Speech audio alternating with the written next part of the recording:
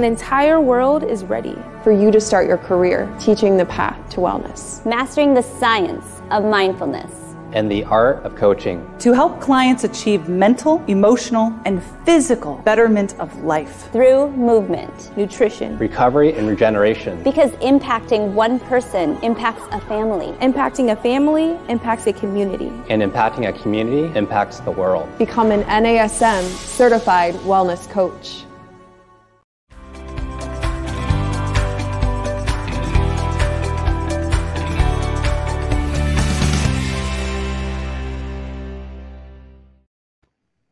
Hello, everyone. Welcome to this week's edition of the Master Instructor Roundtable. I'm Marty Miller here with my fellow regional master instructor, Miss Wendy Batts. Wendy, how's everything going today? Oh, so good. And I'm so excited about today. Man, I could just even tell, like, I could sense it even before we get started. So, you know, here's the thing I got to do the formal, right? So I'm going to, I'm going to read our special guest formal bio, but then you and I can kind of, kind of, you know, make it informal and talk a little bit about them. But we have a special guest today that Wendy and I uh, are so excited for. We both uh, have known this gentleman for uh, over 17, 18 years and owe a lot of our career success to Mr. Rodney Corn.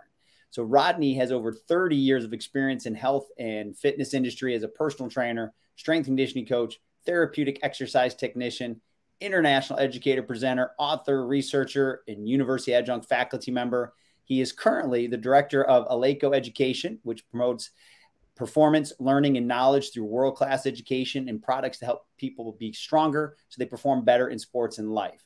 Here's the key point Rodney was also the former director of education for the National Academy of Sports Medicine, co founder and COO of Personal Training Academy, PTA Global, and co founder of Feel Soma, which is self osteomyofascial applications. But Wendy, why don't you just tell everyone who Rodney is to us?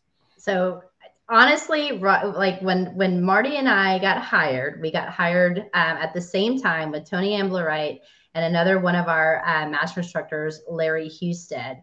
And rodney was tasked on helping marty and all of us and myself included on how to go out and present the NASM material without sounding terrible, without looking nervous, and to give us these cues and ways to explain it to people that were new to NASM. Oh, you're being nice. I thought you were going to say he was he was tasked with scaring the heck out of us. But yes, if you ask Rodney a question, you better know the answer before you ask the question because he will come back and say, "Well, what do you think it is? well, what do you think it is?" And so, therefore, you better have some idea of what you think the answer is if you are going to ask him a question, which personally, I think I learned so much more with him doing that and I know that's where Marty always says you can't shoot a canoe out of, or a, a cannon out, out of a canoe. canoe.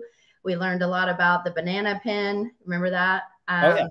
And, uh, and I don't know. I just absolutely adore this man. He is not only, you know, our, one of our mentors, but just he's a beautiful person inside and out. And just, I'm so excited that he's here with us today. Absolutely. I was excited as well. There he is, Mr. Rodney Corn. There he is in the flesh. Ronnie, thank you for being here. And did you know you scared us back then, 17 plus years ago? No, I did not know I scared you. That was why we developed the banana pin. The banana pin was to lighten it up and make things a little bit more uh, fluffy. Now, to be fair, I wouldn't say scare like intimidating, like mean. Scare that we're like, oh my God, do we have the knowledge? Yes. To represent this company. And to your credit, and I, th- I think that to, to this day, the way Wendy and I teach is how you taught us is take the complex and make it simple and digestible. And that's how people fall in love with this content and have that curiosity to learn. And Rodney, I don't know if you know this, but we were just talking about children before we came on. You know, I have three boys. One of my twins is following now into the NASM footsteps and he's taking his personal training. And guess how I ask answer his questions? the Rodney Corn method. Well, Ryan, what do you think? yeah, you know, it's vitally important because one of the big things with with teaching is sometimes we teach people how to teach based on a slide presentation or based on a set information. But if you don't have background information, if you don't know what's behind that, right. then you're going to get stumped sooner or later, very quickly, very easily. So that was to motivate Yep. It's all about motivation. and and I, will speak for Wendy and I probably on this is I think we could have learned the science ourselves, but I think one of the most valuable things I took away from you, there's so many, is being a humble teacher, right? It's a mm-hmm. privilege to be there. And it's a, and I remember you clearly saying it is, it's never about us teaching. It's about, did we disseminate the information for the people that got there and can they digest it and can they use it? Those were some key points. But mm-hmm. I think also you just made us curious to want to learn more. Yes.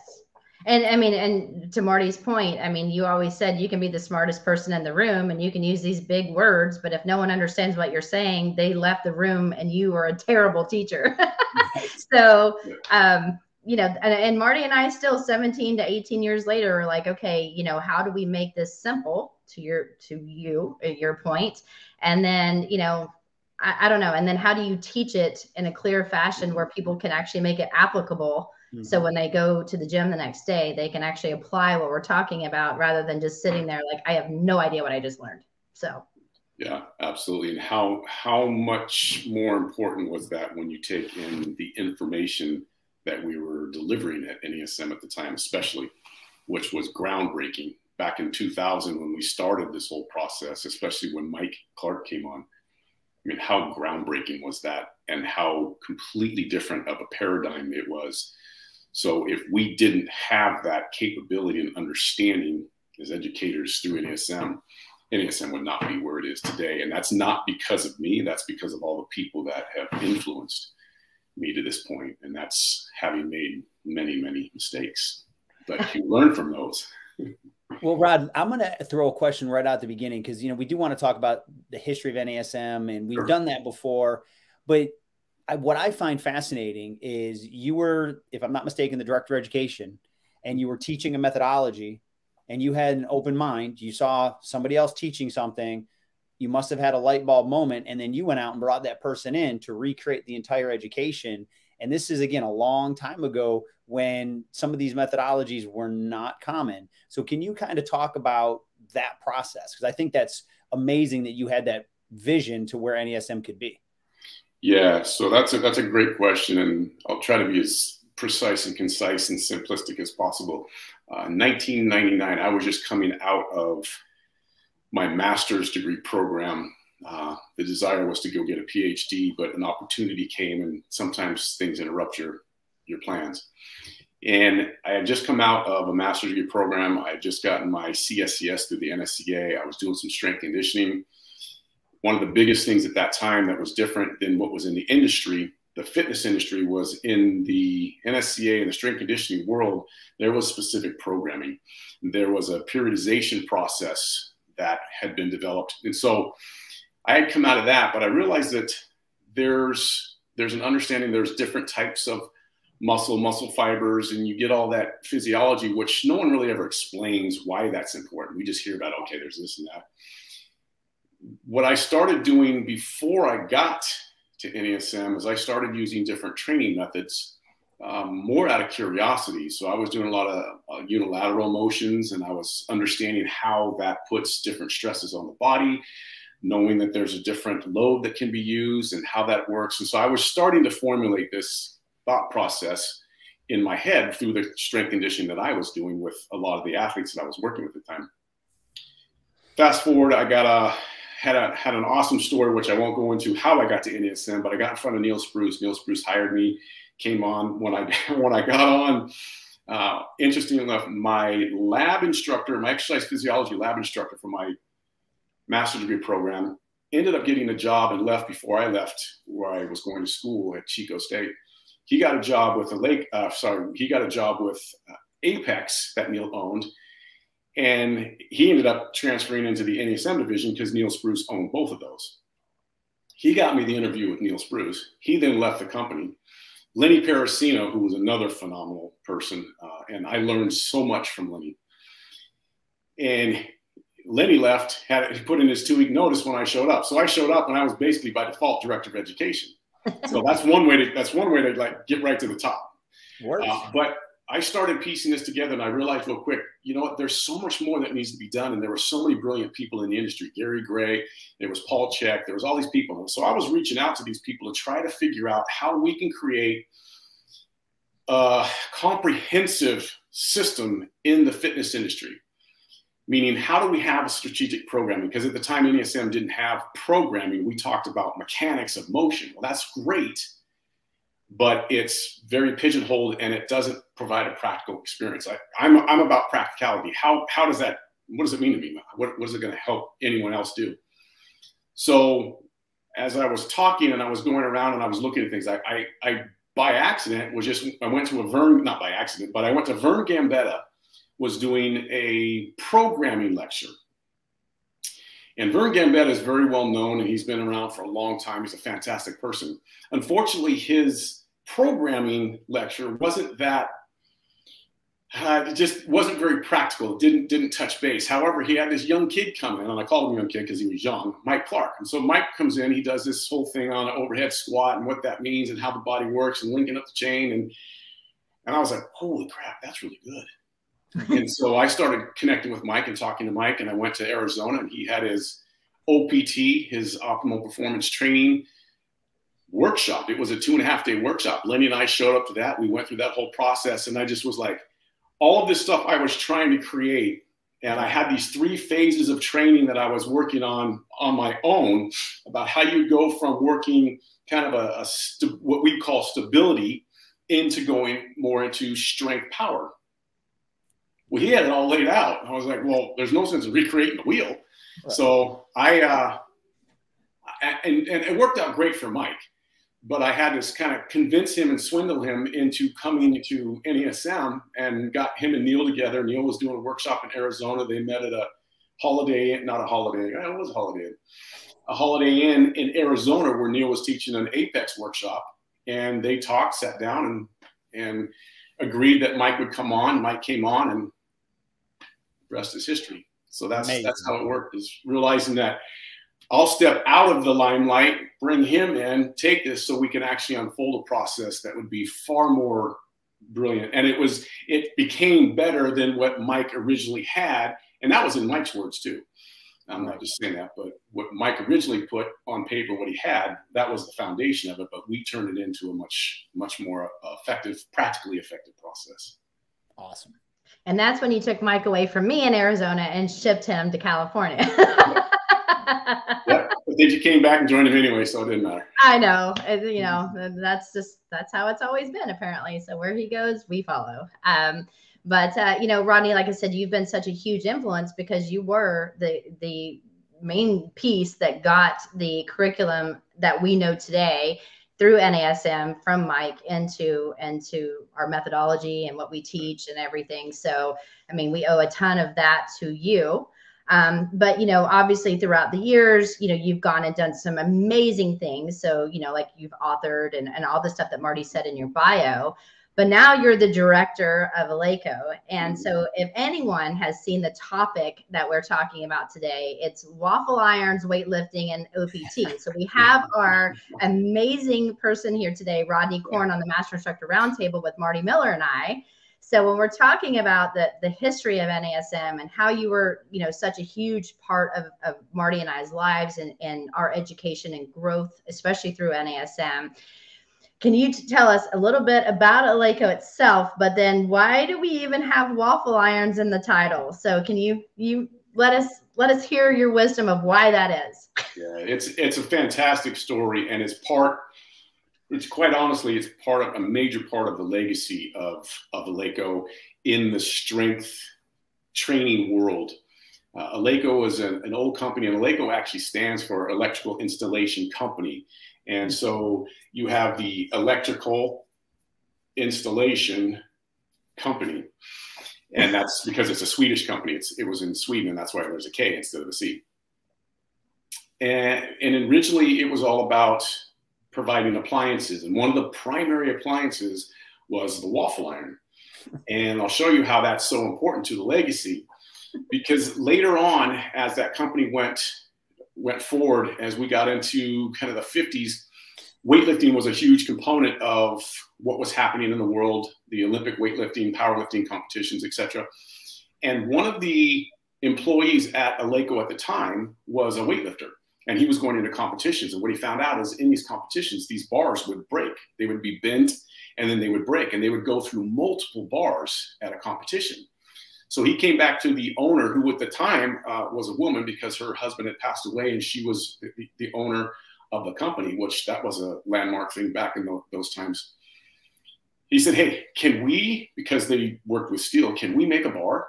Can we actually make some type of bar that we can use? So they used the Swedish steel, which is an immaculate steel, very pure, and is part of the, the whole reason why Eleiko has the, the, the legacy they do with the barbell. And they said, yeah. So they made this barbell and then it was used. And for the first time ever in the history of a weightlifting competition, that one bar lasted the whole entire, the whole entire uh, competition without being broken or bent. And so that started the legacy. Now, part of that is on those bars, they had this knurling, and the knurling is kind of the rough, jagged part of the bar that people see, and they all know about the knurling but they they got the idea for the knurling from the waffle iron because the knurling, if you magnify it, is the same knurling or the same pattern as you would see in a waffle iron that creates the bumps in the waffle iron in a waffle. So that's where the knurling came in. Was they used the waffle iron as the the prototype for the the knurling and the barbell, and so that was part of where this waffle irons come from. And to this day, we have a waffle day every year at Eleiko. It's kind of a worldwide thing where we have waffles, and they have, there's different, and they still have numerous ones of the original waffle irons from way back in the day that they used to make waffles. So that's, awesome. that's, that's so cool. you learn something new every time you're around Rodney. Who would have thought that the electrical uh, uh, installation company would come up with a barbell that was the only barbell that ever last the whole competition? Never would have guessed. The caveat to that is that the bumper plates also came from Eleiko. So one of the employees said, "Hey, I wonder if we take one of these metal plates and we put a, a bicycle tire around it. What would that do?" So that's where that came from, and then we created the mold and created the bumper plate. So the, the barbell, the barbell, which is a bar and the plates, it actually that whole lifting bumper plates and and bars that don't break or bend came from from Eleiko. So it's a pretty cool little. That is a very cool story. I'm glad, Wendy. I'm glad you asked that because now I know. Oh, well, when I saw it, I'm like, dude, we got to talk about this. so, and, and, it was it was cool. It was that was really interesting to find out, and that's a, that's on the website. There's a big stories that goes into. I'm gonna, I'm gonna check it out now. But Rod, as we move now, you, you know, you've always been, um, you know, a huge part of what NASM created, but you know, can you give us a little idea of what the NASM and Eleiko relationship looks like, and you know, maybe some of the things you're up to uh, in that? Yeah, so the the relationship was something that was important to me because obviously having a legacy and a history with NASM, it's always been near and dear to my heart, uh, especially since PTA Global was purchased by the same company that owns NASM and then basically got dismantled. So my my only two big things in life were under the same umbrella, which was owned by the same person, Neil Spruce. So God bless Neil Spruce because he's been so instrumental in my life. But I wanted to reach out and start creating relationships. So we were able to collaborate. One of my personal, I guess one of my personal ethos is, is just I want to be collaborative as possible because we're better together than we are individuals. And too many times in the industry, people try to just isolate and individualize and they don't want anyone else to come in. And because of the history of NASM and knowing the, the potency and power of it, I thought we could create some type of relationship. So we have that relationship. One of the things that was recently just developed is they had reached out uh, to me to see if I would be willing to write a weightlifting chapter for the new new PES textbook. And so that was interesting because having been such a huge part of writing and, and, and developing the CPT textbook back in the day, and then the CES textbook back in the day, which I still have all the copies of all the originals on my computer. And even things that aren't talked about in the CES yet. Right. uh, but that's a whole that's a whole different whole different podcast. We know what some of those are. But they reached out. I said that's really cool. So it was interesting. I didn't think about it. I'm gonna go back and write something for uh, the PES textbook, which wasn't was never in there to begin with, and I know that it's been in there uh, prior to this. But so I wrote the weightlifting chapter for the for that textbook and the updated version uh, that it's coming out, which I think is going to be fantastic. The, the book itself, uh, the chapter, I think was brilliant. Modest. I have I have to say that, otherwise I'd be no. I think it's it's very helpful, and we try to be as practical as possible with it. So I'm sure it is. that's Can't wait to get my hands on it. yeah. It'll it's it's a it's a good read. It's pretty meaty. It's pretty detailed, but it's for a purpose. I mean, if you're going to write a textbook about something, you better have more information than you might actually need, because there may be a time when you need it. The more you know, the more you use.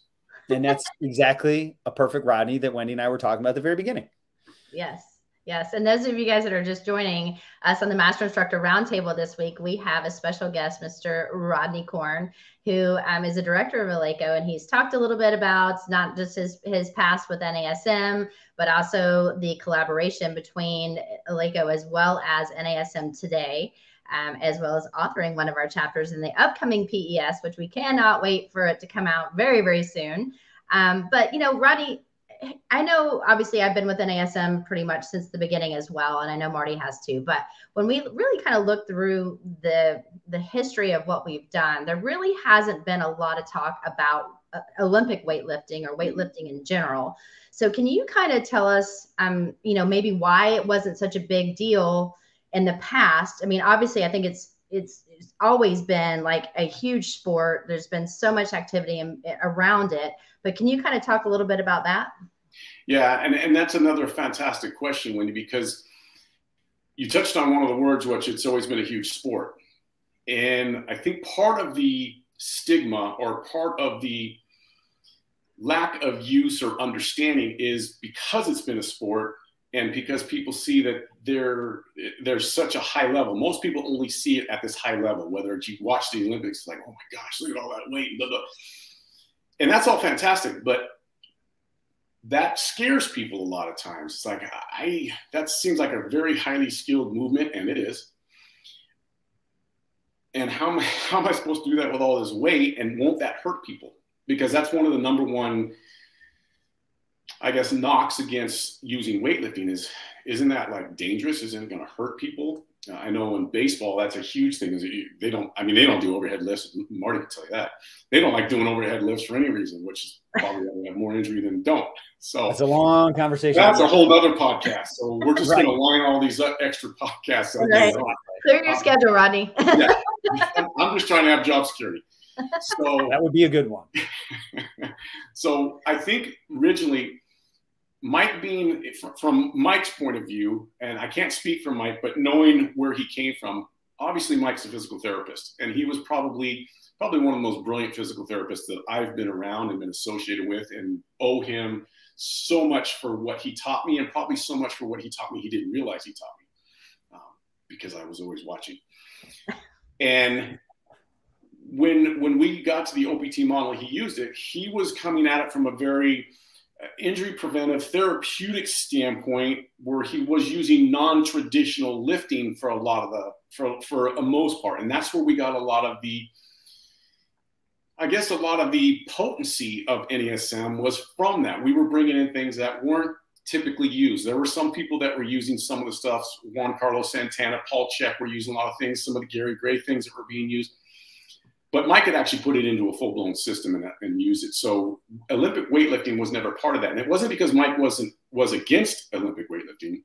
It just never fit into a lot of the clientele and a lot of things that was being used. Even though Mike started with a lot of the professional athletes as his mm-hmm. primary clients in in, Texas, uh, in Arizona, who eventually ended up at Calabasas with us.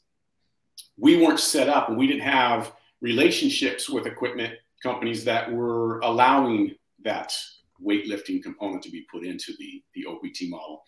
So that was something that had been talked about and something that I had had an interest in uh, back in that time, but we never actually put it into because it wasn't, it didn't seem to fit the fitness industry at the time. And you have to go back and look at the trends. So there's a lot of variables that kind of go into that. But the trends at the time were stability balls, not necessarily platforms and plates and bars. Right. Where fast forward now, one of the biggest trends is pulling out a lot of cardio equipment and different things and putting in a lot of strength training zones, and i.e., from a CrossFit, the influence that CrossFit's had into the whole fitness training world. That's where now it's become a little bit more accept- acceptable. So, long story short, that's why it was really never in. So, a lot of the variables, a lot of the trends, and then just kind of the the personnel and the population that we were working with and dealing with, teaching the education too. Uh, Olympic weightlifting was never a huge fitness component. It was always kind of outside in the strength and conditioning world for the most part. Yeah, it's interesting you bring that up because, like, for example, some people think kettlebells are new, right? Like, if they're newer to fitness, they don't understand kettlebells have been around for Ever. a lot longer than the treadmills. Yeah. So hundreds, hundreds of years. Exactly. Exactly.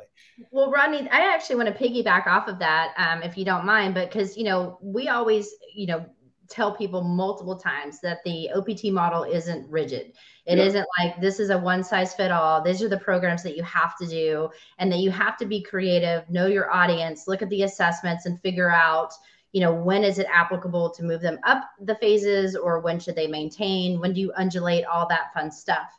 So now you know especially with what you do every day you know for a living especially being the director of education you know for people that really understand the opt model where do you think olympic lifting fits best within the model? And how can you explain applying it that way yeah, so that's a big question, Wendy, and I'm going to try to be precise. I'm a big person. You but remember?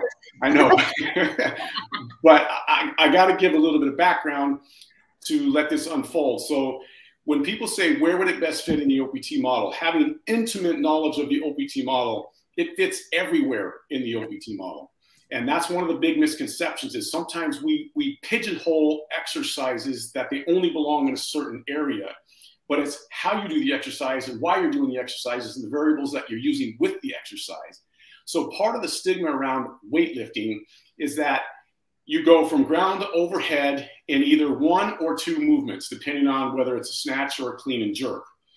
However, one of the things that has to be realized is that there are various phases or components of each one of those lifts. And each one of those phases or components of the, the full lift has a unique application in and of itself. If you start at the floor and you, you go for the first phase or the first component of it, that's just that's just a partial deadlift. And as you come all the way up, that's a more of a full deadlift. It just has a slightly different technique than a, than a normal powerlifting type deadlift. And then you go into a, a shrug motion, shrug to a high pull motion. And depending on how fast you move that, will have a whole nother ramification into it. So you're looking at the, the metabolic components behind it, you're looking at the actual mechanical components behind it. And that's where it starts to become very cool because you don't necessarily have to go all the way overhead with something to still use it. And it's like saying, where would you use a deadlift in the OPT model? Well, a deadlift could be used in any component of the dead of the OPT model. It's what's what are the variables that you're going to associate it with. Remember, the OPT model yes, does have a little bit of a framework around the types of exercises and the stability you want to go. You're, you're looking for a little bit of instability, but you're also looking to address certain muscle or muscle fiber types. That's the reason for the actual phases of the model. It's not just these exercises fit in that hole. It's no, what are the variables, which when we talk about acute variables, we're talking about what are the manipulations to the stress that you're placing into the system. That's all an acute variable does, what the acute variable spectrum does. It manipulates the stress that you place upon the body. That stress will determine not only what energy system you're using, but what motor units or, or fibers that you're using and how you're addressing the system. What are you trying to accomplish and build with that? And so that's why I, I from, and this is something that has to be understood from the OPT model. If you realize what those phases are and you understand that, then putting in exercises is very simple. The deadlift from a research standpoint, and I use a deadlift because that's a, that's one of the phases of an Olympic lift. Mm-hmm. If if I do a deadlift correctly and I'm not worried about max load, which that would go into a different phase of the OPT model, if I'm going for maximum strength, and I'm not looking at power, which that's a different phase, but I'm just looking at creating better stability. Let's just look at the lumbar spine and I'm looking at the multifidi muscles. If I just want to hit the multifidi muscles, which are stabilization muscles, by the way, and there's local stabilization, a deadlift has been shown to be just as effective as traditional therapeutic exercise to enhance the stability of the lumbar spine. So when I know, again, the more you know, the more that things open up. So we should be wanting to learn more information and not taking that model and throwing it away because it didn't fit my exercise spectrum. It's no, probably wasn't the model's fault. It was probably our fault. Right. Both from from teaching in the in the original days to the learner just saying, well, that doesn't make sense. Well, mm-hmm. don't blame the model. It's like don't shoot right. the And, I, message. and, and Rodney, I think one of the key things that you have uh, impacted me with throughout my whole career now, and again, I have to give you credit for this, is don't think about an exercise, right? And Wendy and I talk about this time. We might call it an exercise. At the end of the day, it's a movement pattern. Yep. And when you start to strip back movement patterning, you could talk about how helping someone do a, a bridge or a plank, you know, Rodney's eventually going to help them with any of those Olympic lifts that you're gearing them towards. You're just taking pieces of the more complex movement pattern and you're working until you can start to put these together. But the person thinks, oh, I'm doing a bridge. Oh, I'm doing a plank. Oh, I'm doing a this. I'm doing a that. And before they know it, they're doing a power clean, right? It wasn't by accident. It was a systematic dissection of the complex. And you figured out where that person is. And then you just build them through the phases, through the movement patternings, get them to move well. Then you move them well under load. And then before you know it, they're doing whatever they need to be doing. And they think, oh, today we're doing power cleans. Like, dude, you've been working on this for six weeks. Yeah, and and to your point, just taking those two exercises, a bridge and a plank. So a bridge and a plank are working your torso.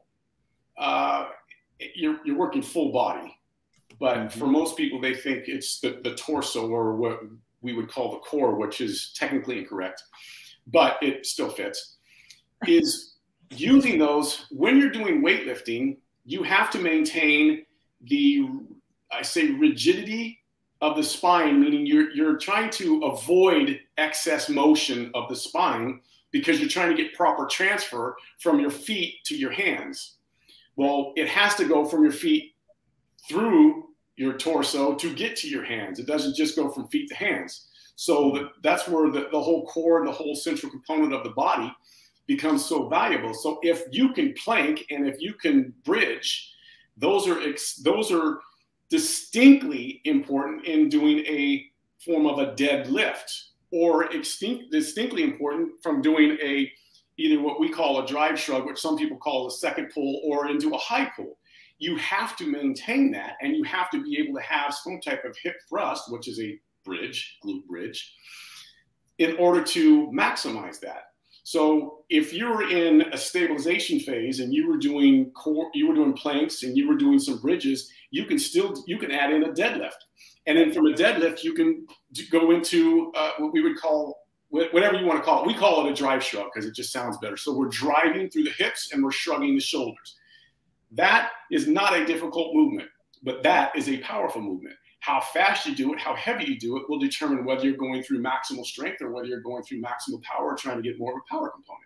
If you're not worried about speed and you're just worried about technique, you're now focusing on the stabilization component.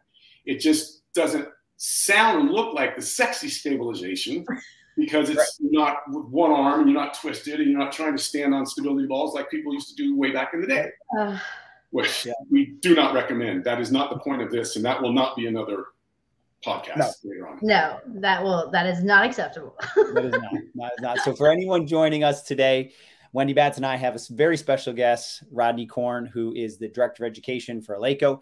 He is a longtime friend and mentor to both of us, and you got to go back and check out the entirety of this uh, podcast because there's some great information. You'll hear about Rodney's amazing background, his contributions to NASM, and then of course you're going to find out about the waffle iron. So you're going to have to go watch it now. So that's you know, that's that's how we tease things, Rodney. Like you know what I mean? Yeah, and yeah. and the waffle. Wow, is that a great story? Well, we it again, but we don't have time. There'd be a protein waffle. Those are those exist. They do. They do. Well, Rodney, I so um, you know, again, I don't focus a lot of my training um, on on weightlifting, Olympic weightlifting. That is. Mm-hmm. Um, you know, yes, we do different types of Olympic exercises in, in some of my programming, but like really understanding, you know, proper setup, movement patterns, positioning, what you're calling different things, proper execution, when it's when you should do things, when you should not do things. Um, you know, especially the Rodney Corn education way, which again we love.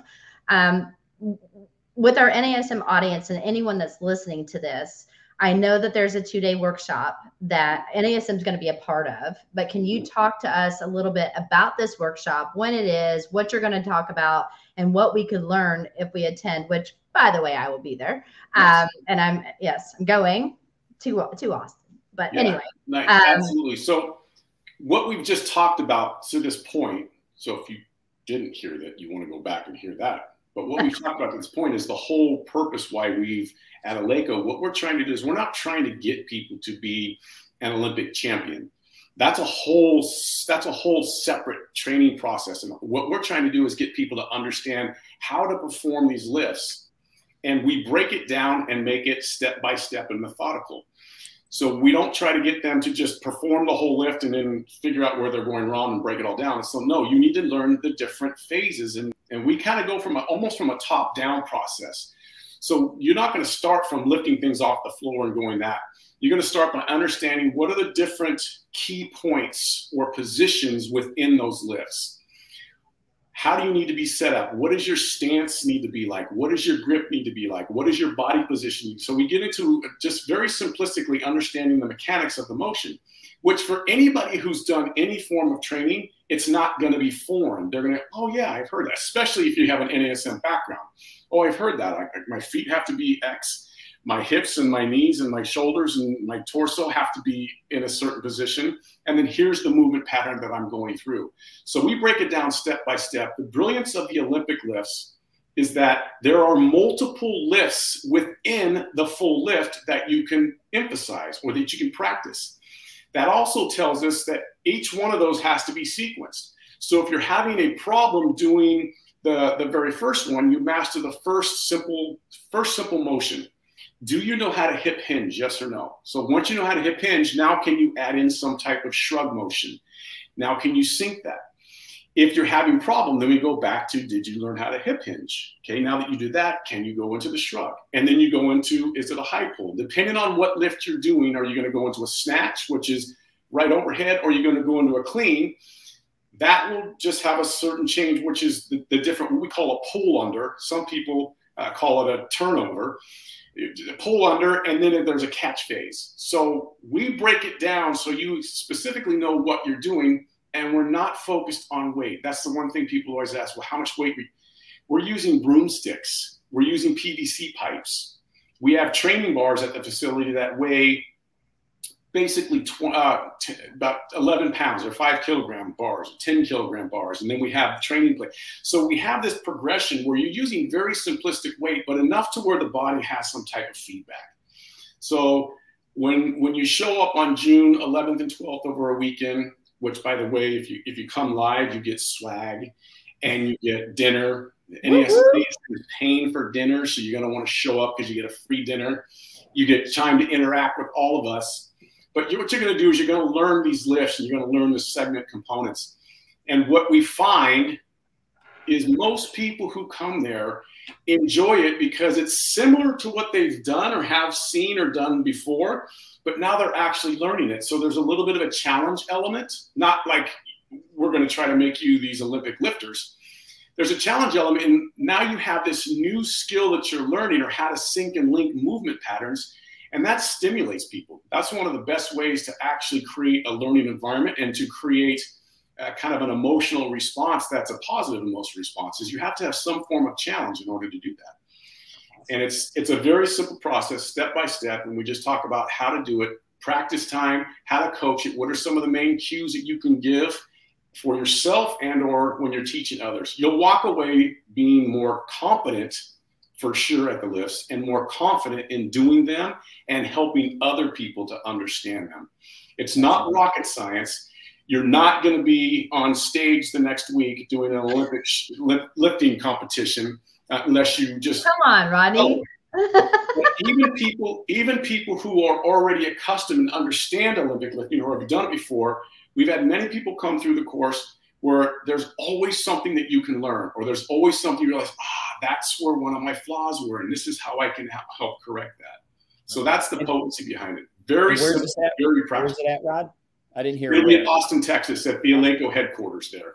Brand new headquarters. So it'll be awesome. You'll be able to see the the whole Eleiko team. You'll be able to see the the uh, the, the facility that we have, a training facility there. I Just checked my calendar. It's open. Got to got to get there. Got to get yeah. there. It's going to be fun. Plus, we'll be there. Uh, the the person who will be teaching with with me, she she's one of the Eleiko educators, Lauren Heiser. She's fantastic. She's an ex Olympic lifter, but more importantly, she understands people and connection. She's very fun. She's very engaging, and we'll both be going back and forth and, and teaching. And she does. She's the one who will do a lot of the educational instruction on the lifts themselves. That's her expertise, and I just provide the uh, banana pin analogies. I'll, I'll, I'll, be there to help out with, with everything as well. As you were talking about that, and again, this wasn't anything we had talked about before is my first instinct was, you know, the vast majority of people, like you said, are not going to go into a gym and try to do two, 300 pounds. So they, they stay away from it. But if you are NASM, what's the final part of our corrective exercise is integration. These are phenomenal ways to learn integration techniques because they're total body. And again, it, as Rodney said, it gives you some skills to work at. Who doesn't want to become better at something? And then before you know it, you may accidentally fall in love with some of these techniques and you may be able to do more than you're capable of but also when we're all in the gym and we see people, I'm going to use the word muscling through these techniques.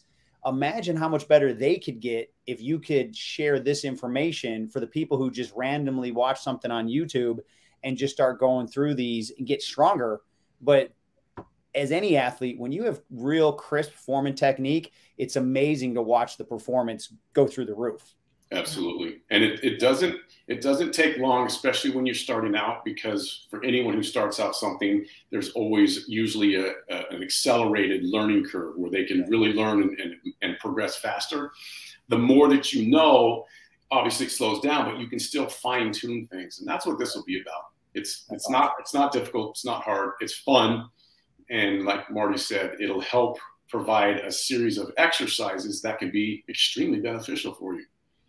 Well, and I'm going to say too, I mean, and and this isn't just to, you know, obviously hype you up even more than we already have, Rodney, but I think any kind of education that you can get from mentors and people that have been in the industry and they understand your background, where you're coming from, especially if you're coming through NASM or, you know, Rodney, with you having the background, the way that like you break it down it's so easy to understand. And i think this two day workshop being able to spend time with you spend time with all of us that will be there i mean uh, is is first of all we haven't had that face to face interaction in so long. Like mm-hmm. i'm learning you know i'm excited about that because to me personally i learn better by visually being there and doing the hands on technique. So i'm excited to be a part of this. But you know those of you know can you tell us like where do you sign up for this two day you know is it is it just face to face can you find something out virtually? Do you get ceus can you kind of talk through that a little bit more yeah so it's both live and then we'll be live streaming so there's two different ways you can do it remember the live people get the swag they get the dinner and they get the the actual hands-on training the live stream uh, will will get all of that and experience it and see it whether you watch it live when it's happening or you'll have the link so you can access it whenever you want to. It becomes more of an online situation. So there's both ways that you can do it, and that's up to you. The sign up will be, and I'm sure you guys will have the link and everything. The sign up will be through the Inspire 360 platform that we have. So there'll be a link that you can go to, and you can see there'll be a live or a live stream, whichever one that you want to do. The cost is the same. Uh, NASM people do have a 30% discount code. Those that are in the pro thing, I just want to mention that because that's a pretty big deal when you're talking about the course. Uh, course isn't that expensive. Course only three ninety nine. There are CEUs. There's CEUs for the NSCA and there's CEUs for NASM, obviously. So just in case anyone else has dual certifications that they're worried about, it, it'll cover that. So. So Ronnie, are these eight hour workshops, six hours, four hours? Like what's the timing of them? This this will be a two day workshop. Mm-hmm. So it'll be the the 11th and the 12th of June. And day one, we'll be covering a lot of the technique. Day two, we'll be doing a lot of the, the coaching and programming and, and, actually working through. So you're you're not only learning to do it yourself, and this is where it becomes really fun, is you learn how to do it yourself, but then you also learn how to kind of coach other people up on it. So you get the best of both worlds. And that's why I say you'll walk away competent and confident to both do them and help others do them. Awesome. Excellent. Well, I know I've learned a couple things today. One about waffle irons, and two, I now have a continuing education course. I'm already uh, going to put on the calendar, so I'm in. That's it. There it is. I know. Well, let me ask you, Rodney. You know, for those that are listening today, we want to thank you, A, for joining us on the Master Instructor Roundtable with our special guest, Rodney, Rodney Corn, talking about waffle irons, the history of NASM, you know, weightlifting just in general, and then how we encompass that into our programming and our phases of training of what we know today. The exciting two day workshop that's going to be held in Austin, Texas um, in June. You can join virtually or in person. So we're super, super stoked about that, especially with our partnership.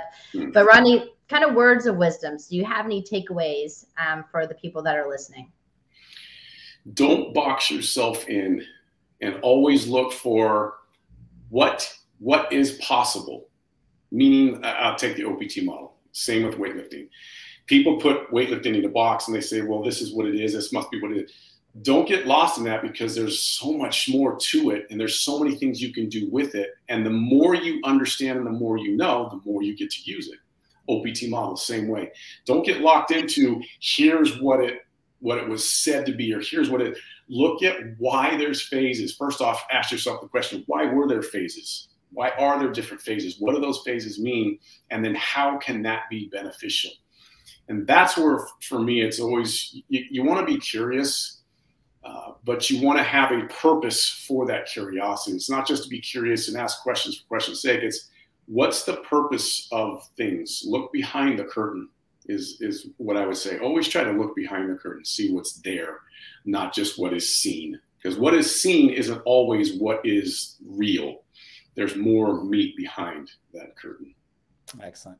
Well, Rodney, I know Wendy and I could spend hours talking to you. We could uh, just, we have so many things we could talk about and go on and on about. But first and foremost, thank you for your commitment to the industry. Thank you also for pouring into people like Wendy and I. I know that you um, you do it for a lot of reasons. We know the why, but you know, I, we really do value the fact that you love giving your knowledge because, as you've told us, you know, somebody had to pour into you, and we do, as people that have been mentored by you, we take that very seriously, and we talk about you all the time. That we owe the industry and others the time and patience that you gave us early on in our career.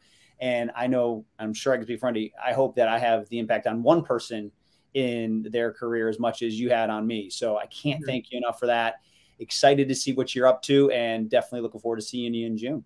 Yeah, and I deeply appreciate you guys allowing me to be on here. And for everyone that's watched or will watch or has watched, thank you so much. And I hope that you got something from this and love to see you and meet you in person. And I can't wait to see both of you in uh, Texas here pretty soon. Yes. Well, well, thank you. And Rodney, how can people, if they have questions, um, can they get a hold of you? Do you mind giving out your contact or? Yeah, absolutely. They can they can email me. So my email is just Rodney dot corn, just like my name, at Eleiko, just like you see, E L E I K O dot com. Rodney dot corn at Eleiko dot com. Feel free to email me, reach out to me. I'd be more than happy to do what I can do. Awesome. Well, and if you guys have questions for Marty and I, you guys can always contact uh, me at wendy.batts at nasm.org, or you can find me on Instagram at wendy.bats13. And Marty? Yep, my uh, email, marty.miller at nasm.org. And then Instagram is dr.martymiller72. So, Rodney, once again, uh, thank you so much for everything. And we look forward to seeing you in June. Thanks, everyone, for attending, and we'll see you next week.